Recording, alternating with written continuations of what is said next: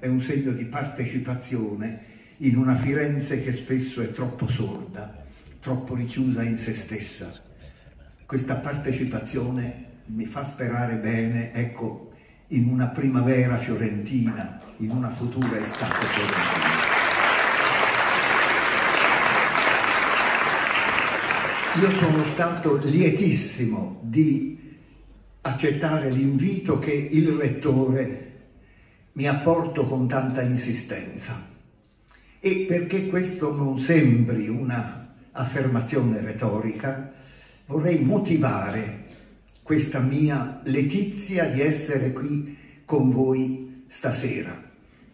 I problemi carcerari, i problemi penalistici li affronteremo tutti insieme l'11 novembre quando verrà il Presidente Lattanzi nella sede di Novoli. Oggi io voglio soltanto spiegarvi qualcosa delle motivazioni reali di questa iniziativa e di tutte le iniziative che le fanno corona. Dunque, intanto sono lieto di rappresentare qui la Corte Costituzionale. Voi direte, ma perché la rappresentanza la si affida ad un Presidente emerito? Semplicemente perché oggi il Presidente in funzioni e tutti gli altri 14 giudici sono in udienza solenne stamattina, udienza pubblica e stasera, se l'udienza non è già finita, in Camera di Consiglio, a discutere di grossi problemi anche penalistici. Quindi è ovvio che la loro presenza era addirittura oggi impossibile. Lattanzi sarà viceversa sicuramente a Firenze, come ho detto, l'11 novembre. Ecco, vorrei, siccome l'ho vissuta da vicino, spiegarvi come è nata questa iniziativa e altre iniziative consimili. Tutto è avvenuto nel contesto dell'ultimo quadriennio di vita della Corte. Un quadriennio che si è scandito nel primo biennio con la mia presidenza e nel secondo biennio con la presidenza di Giorgio Lattanzi. Eravamo nel 2016, appena eletto si trattava di affrontare un problema. Erano 60 anni allora della vita giurisdizionale della Corte. La prima seduta della Corte avvenne il 23 febbraio del 1956 far festa, ma come? Evitare le cerimonie sonore ma anche vacue. Una prima proposta fu accetta, mia fu, proposta, eh, fu accettata immediatamente dai colleghi e fu di un convegno scientifico che noi tenemmo come bilancio di questi 60 anni nel maggio del 2016. Non ci interessa. Però io lanciai un'altra iniziativa e la lanciai con questa affermazione netta che ho ripetuto un'infinità di volte nei miei discorsi in seno alla Corte. Il Palazzo della Consulta, che come voi sapete è la sede della Corte, che è sul colle davanti alla piazza del Quirinale, il Palazzo della Consulta non è un castello murato, ma è un palazzo con porte e finestre aperte verso l'esterno e l'esterno vuol dire la società civile. C'era un desiderio da parte mia che fu raccolto immediatamente dai giudici per organizzare delle esternazioni. E la prima esternazione fu quella di pensare ai giovani, ai giovani delle scuole medie superiori, che sono sacrificatissimi, almeno nei licei, sotto il profilo di un minimo di conoscenza giuridica che non hanno e soprattutto sul fatto che si ignora troppo a fondo la Carta Costituzionale che è il breviario giuridico di ogni cittadino. Io l'ho detto ripetutamente ai vari ministri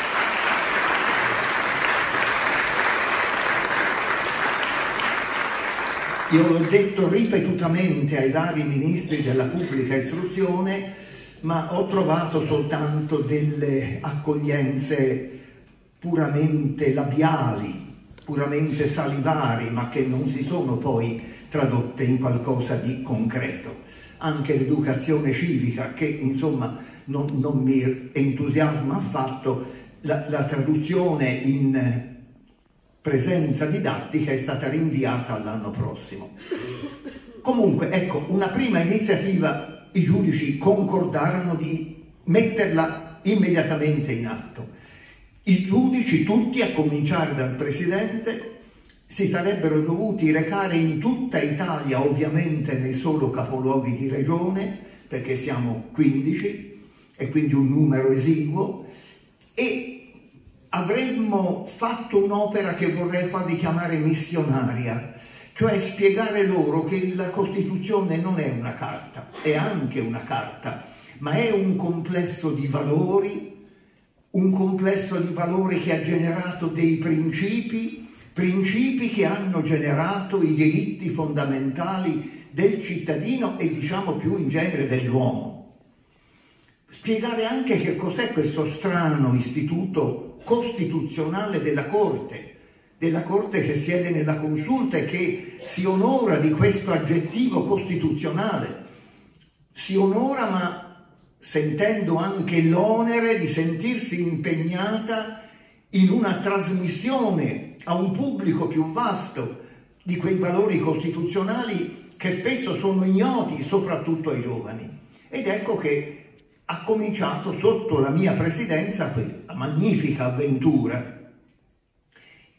Dopo ostacoli che il governo Renzi ha posto alla prima nostra proposta, con il governo Gentiloni questi ostacoli sono stati superati. Io ho potuto addirittura con il ministro Fedeli l'8 gennaio del 2008 firmare una convenzione perché è ovvio che il Ministero della Pubblica Istruzione deve essere l'interlocutore necessario, le sedi in cui si svolgeranno, si sono svolte naturalmente viste da oggi, le, le, sedute dei giudici, le lezioni dei giudici deve essere fissato dagli, dalla burocrazia ministeriale. E devo dire con un grande entusiasmo, vi do questo minimo esempio.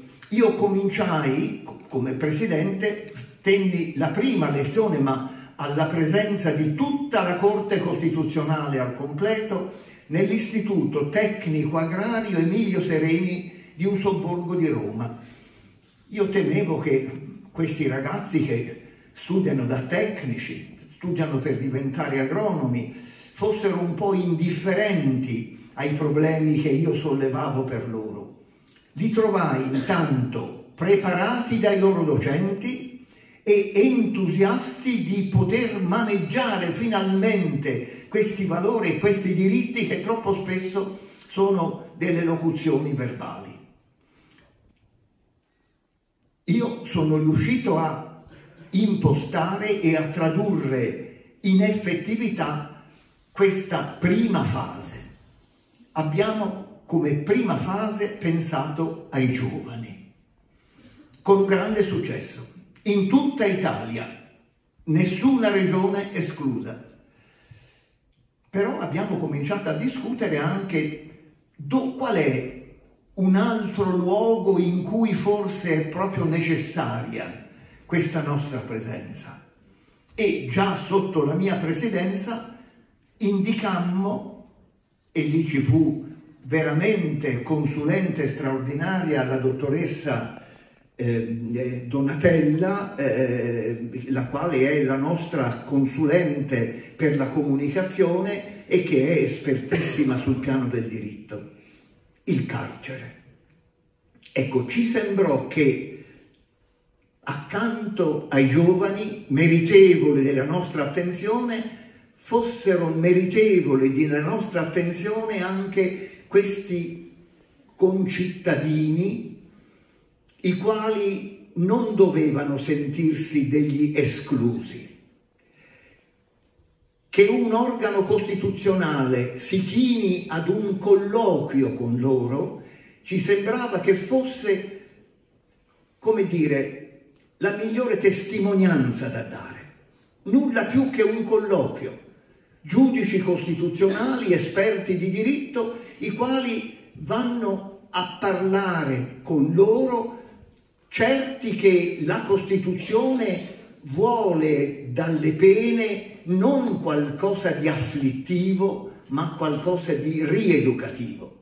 E la migliore rieducazione è un colloquio che si tiene all'insegna della massima umiltà, un colloquio quasi tra pari, in cui l'escluso, cioè il carcerato che può sentirsi escluso, si sente legato anche da un minimo o da un massimo di fraternità. Io non ho fatto a tempo a attuare questa seconda fase, l'ha attuata egregiamente Giuliano, eh, scusate, Giuliano Vassalli è, è il grande penalista, il grande ministro che è stato ricordato poco fa dalla, dalla, dalla prefetta. Il nostro Giorgio Lattanzi, un grande penalista, è riuscito ad attuare perfettamente questo disegno. Naturalmente è un disegno che non si blocca, è un disegno che ha già una sua attenzione sia nella prima che nella seconda fase. La seconda fase per i giovani è già in attuazione e addirittura il presidente eh, Lattanzi mi ha chiesto di partecipare anche se emerito e io sono già stato addirittura in una lontana provincia italiana, la provincia del, del Molise, la regione Molise, provincia in senso lato, dove ho avuto alla fine di settembre accoglienze entusiastiche. Proprio credo che queste iniziative per cui un organo costituzionale cala dal colle del Quirinale in questo colloquio con i cittadini sia estremamente educativo a ogni livello. Ora naturalmente c'è anche da pensare a una seconda fase per le carceri.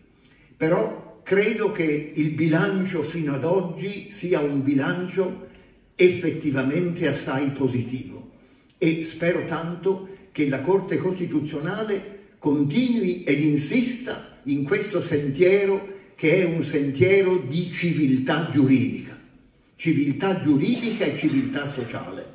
Grazie.